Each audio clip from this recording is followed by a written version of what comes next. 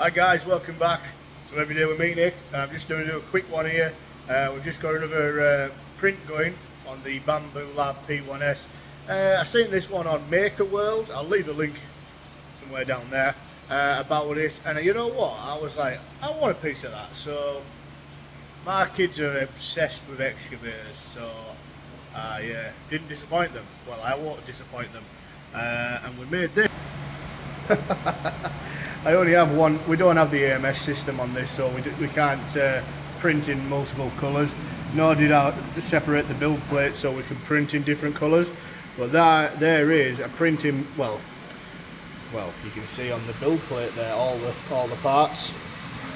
You've got track, dipper, arm, uh, bucket, cogs, body.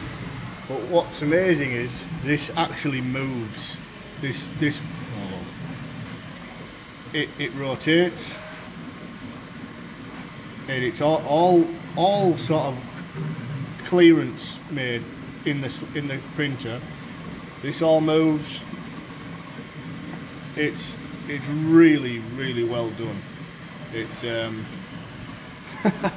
you just can't believe it can you that there's something like that can be made like that. So the tracks even turn so they can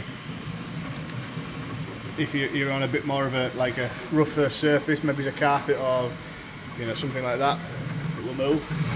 But yeah, so there's that one printing. Absolutely amazing. So yeah, there it is. Uh, a little digger, little excavator made on the Bambu Lab P1S. Uh, just waiting for this one to finish, which has got um, 50 minutes left on it, 49 minutes, and it's at 124 loop, which is in sport mode. So yeah, thanks very much guys. Hope you enjoyed that one.